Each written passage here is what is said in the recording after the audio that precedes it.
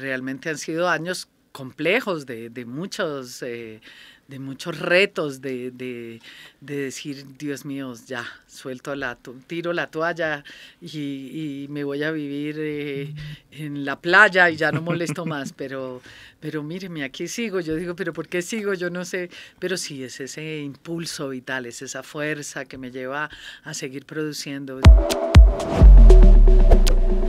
un saludo muy especial para todos nuestros amigos y seguidores de quienique.com. Les doy la bienvenida nuevamente a este espacio digital. Hoy con una invitada muy pero muy especial. Se trata de nada más y nada menos que de la gran actriz Alejandra Borrero, quien por estos días en su casa eh, bueno, está presentando su más reciente obra de teatro y ella nos acompaña acá en Quienique para que nos cuente todos esos detalles. Alejandra, bienvenida a quienique.com. Gracias, aquí en casa de ustedes. Qué bonito espacio, qué rico y un saludo para todos los los, que están ahí detrás de esta cámara.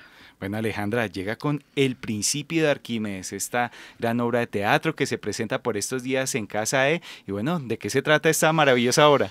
Bueno, El Principio de Arquímedes es posiblemente una de las grandes apuestas que he hecho. Es una obra sensacional escrita por un catalán, eh, el único dramaturgo europeo que tiene tres premios Born. La pieza es, cuando la leí, dije, tenemos que montarla, no hay lugar a dudas.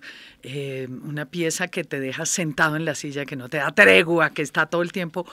La gente realmente parasmada, paralizada, pensando, sí, no, que y, el sábado, terminando la función, fue muy bello ver que la gente ni aplaudió, que se quedaron como... Y cuando ya aprendieron, ah, es que ya, ay, Dios mío, si acabó esto, yo me la quiero volver a ver.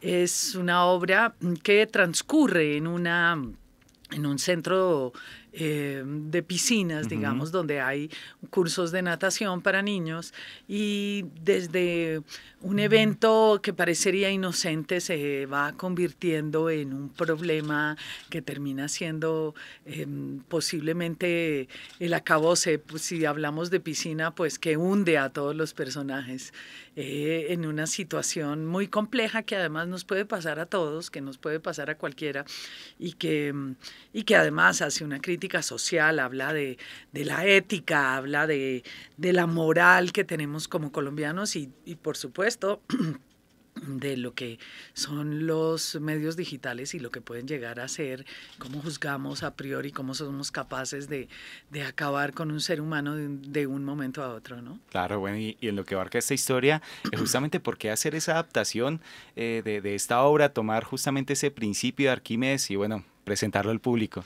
Bueno, la obra está tal cual. Realmente lo que hicimos fue pasar el español de España al español nuestro, eh, con tres, con cuatro grandes actores. Estamos, bueno, estoy rodeada de hombres. El director es Jorge Hugo Marín, uno de los grandes directores colombianos, que tiene ese, ese trabajo hiperrealista que genera en la obra una, un estrés. Yo realmente veía a la gente y todo el mundo está, Dios mío, Dios mío. Qué cosa tan mancha. Se engancha, con unos textos maravillosos que, que realmente la obra tiene cosas encantadoras. Dentro de eso, por ejemplo, comienza la escena y luego nos devolvemos en la escena y uno empieza a recibir un poco más de información. Y la escenografía está pensada también así, así que eh, es una puesta en escena muy cinematográfica, es una puesta en escena donde todo el tiempo tienes unos ángulos diferentes para ver eh, y al repetir la escena ves otras cosas y puedes eh, de alguna manera recibir más información sobre lo que está sucediendo.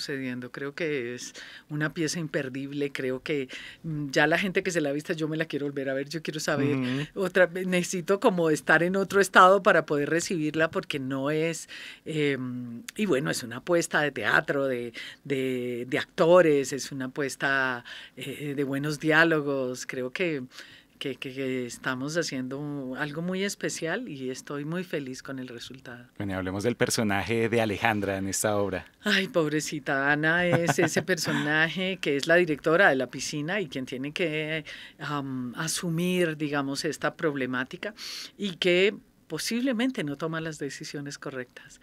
Eh, y y, es muy interesante, yo decía, ¿qué va a decir la gente? Yo que hago este tema de defensa de justicia hacia las mujeres y hacia las niñas eh, al respecto, pero es justamente ese personaje que le puede pasar a cualquiera en cualquier lugar y que no sabe cómo manejar, digamos, un tema tan complejo como el que estamos tratando en la obra. Bueno, ¿y qué tiene de pronto Ana que tenga Alejandra?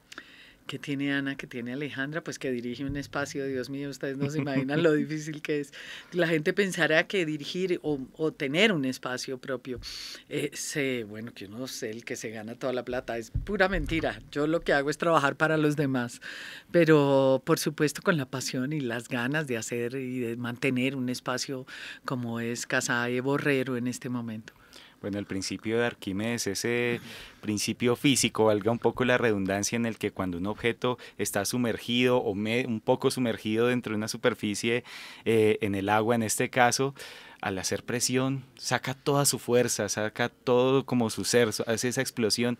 ¿Cómo es esa fuerza Alejandra esa explosión para realizar las cosas, los proyectos y su esencia como actriz? Yo a veces no sé de dónde saco, pero lo saco.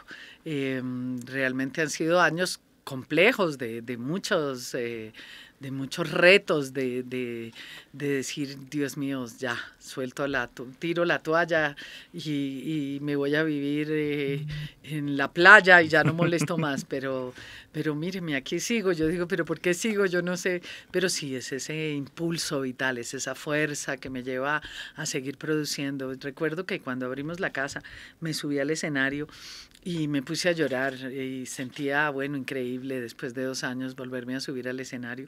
Pero, y decía, no, este es un momento de alegría, pero yo no puedo parar de llorar, lo siento mucho, pero... Muy llorona de pronto. Y a los dos días, sí, yo soy muy llorona. Y a los dos días ya estaba diciendo, ole, hagamos esto, hagamos lo otro. Yo, yo estaba realmente tan, tan golpeada con todo lo que había sucedido que no, que no me imaginaba. Pero a los dos días de estar ahí ya empecé, chicos, eh, ¿qué les parece si vamos a, eh, mejor dicho? Y, y esa es la fuerza interior que me lleva por la vida, yo creo.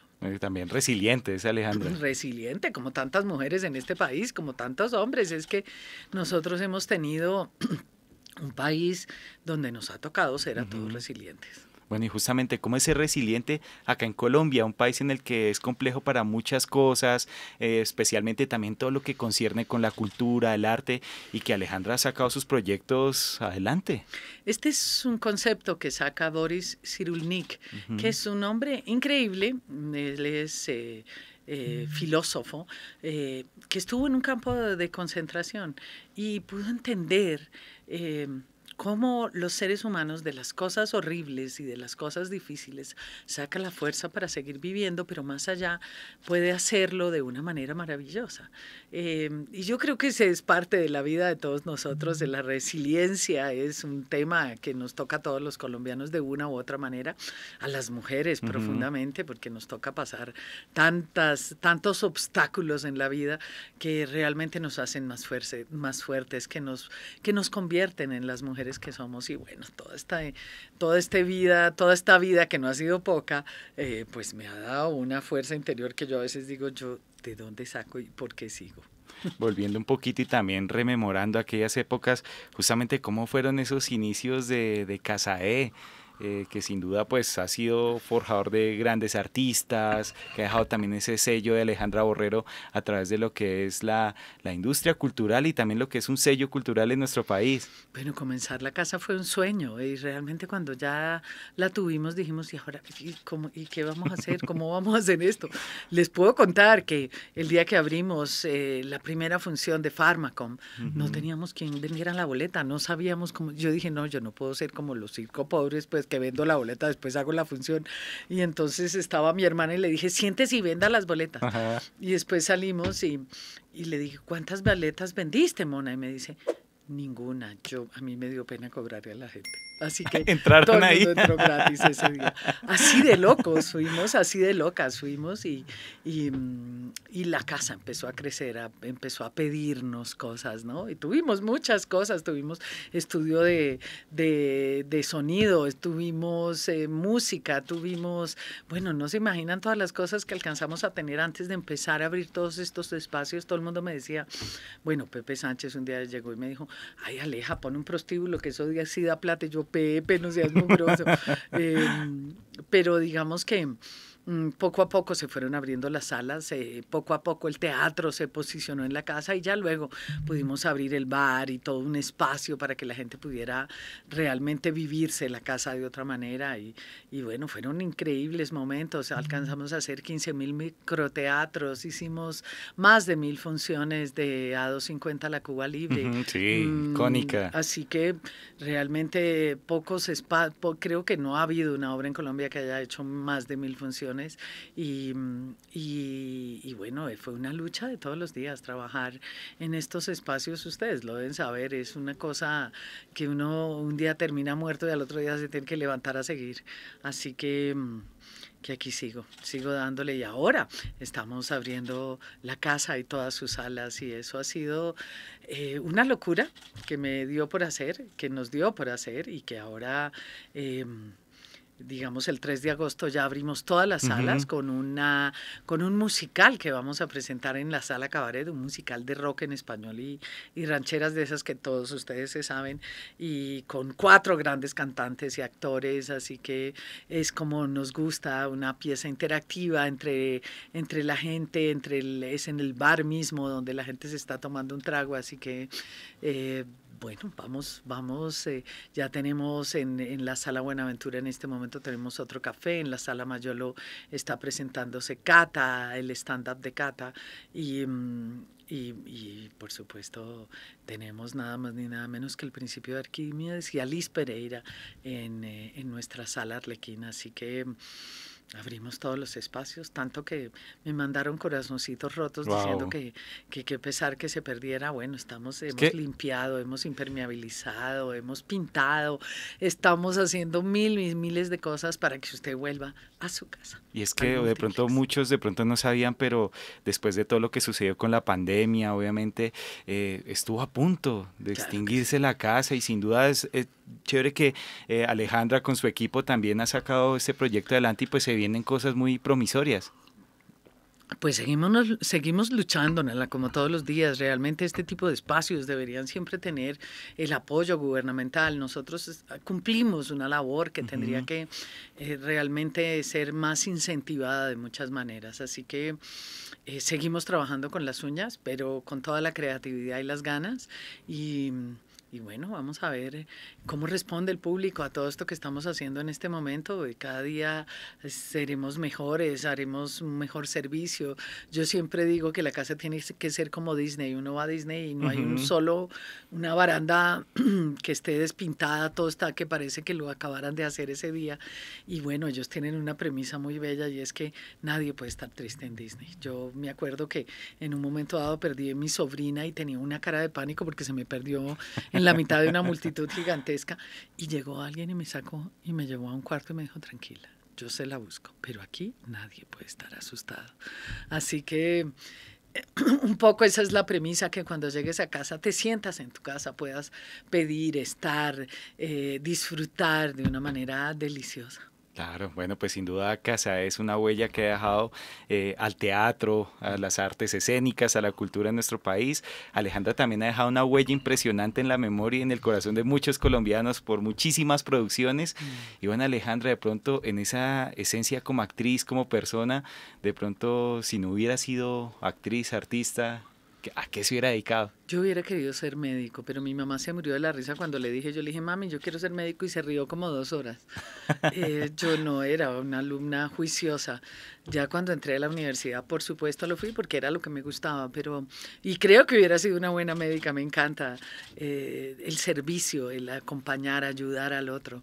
Y, y, de pronto todo este trabajo con las mujeres tiene que ver con eso, ¿no? Con, el, con la necesidad de de dejarle un mejor país a, a, las futuras generaciones, de que podamos realmente abrazarnos eh, y decirnos, eh, no importa dónde estoy, yo también soy colombiana y quiero aportarle a este país. Así que seguimos trabajando, hicimos nuestro séptimo festival ahora en noviembre, vamos a hacer el octavo, estamos trabajando para eso. Eh, y bueno, como les digo, no paro un minuto. No paro. Este año, este año estábamos... Alejandra. sí, mucho. Este año he estado montada en el escenario todo el año. Estuve eh, con las Manuelas al principio de año, luego hice No te escupo la cara, luego me fui para Francia y monté una obra en Lyon eh, y luego llegué a ser Arquímedes, así que no he parado en todo el año y eso me produce una gran felicidad. Creo que estar en el escenario y la ficción para mí es de las cosas ricas de hacer. Bueno, y esos escenarios también que fueron reconocidos, pues eh, hablábamos of the record que tuvimos la oportunidad de, de hablar con Alejandra en Cartagena cuando recibió ese reconocimiento por vida y obra. Y volvemos pues a traer aquí a estos micrófonos, esas cámaras, esas sensaciones, cómo fue el ver también acompañada de sus padres, de todo el público, que fue una ceremonia también muy bonita y al haber reconocido eh, toda esa trayectoria de Alejandra Borrero primeros sentimientos encontrados. Yo dije, ya estoy tan vieja para que me den un premio de vida y obra, carajo. Y espero tener más vida y más obra que hacer. Así que les va a tocar darme otro dentro de unos 10 años por ahí. Pero pero sí, bello, bello, que realmente yo siempre pienso, eh, yo por qué me gané el premio, todas las otras también tenían la posibilidad, yo por qué no, y, he sido una mujer que, que, siempre ha sido reconocida por su trabajo y eso me parece muy bonito, pero además estar con mi papá y mi mamá, eh, poder que me pudieran acompañar, verles la cara de orgullo, pasar unos días maravillosos en Cartagena con todo este, porque además me llamó todo el mundo, yo decía, Dios mío, esto es, realmente es tan importante, yo, yo los premios, nunca he trabajado, por los premios, he trabajado por el amor que le tengo a este trabajo. Mm, entonces siempre los premios son como un regalo que me llega por ahí. Eh, ojalá trajeran plata también, pero bueno. pero fue muy bello, realmente muy bonito poder estar con ellos. Mi hermano vino desde Panamá, mi sobrina. Realmente fue como no solamente un reconocimiento del de, público y, de, y del festival, por supuesto, de cine, sino un reconocimiento de mi familia diciendo, te apoyamos y nos mm. parece muy importante que estés en ese momento de tu vida. Así que muy especial. Bueno, Alejandra, y los sueños por el futuro, ¿qué más quiere hacer? De pronto, ¿qué siente que le falta? Dios mío, he cumplido tantos sueños y sigo teniendo sueños. Eh, y por supuesto, vivir al lado del mar en un momento dado, tener la posibilidad de ir y venir, de, de no estar tan ocupada. Cuando llegó la pandemia me di cuenta que había trabajado por muchos años sin parar y que a veces eso eh, te cobra muchas cosas, eh, salud, la vida misma, tantas cosas que me he perdido de mi familia por estar trabajando, tantas cosas, tantos atardeceres que no he visto, tantos amaneceres que no he visto. Así que em, yo creo que ustedes ya tienen otro concepto de la vida, pero nosotros trabajamos sin parar eh, y sin parar y sin parar y sin parar.